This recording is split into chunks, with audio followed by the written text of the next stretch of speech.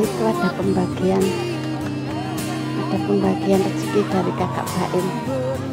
Lah ibu-ibu buat yang tertib buat yang tertib jangan dusel-duselan seperti itu. Kalau ngantri biar lancar.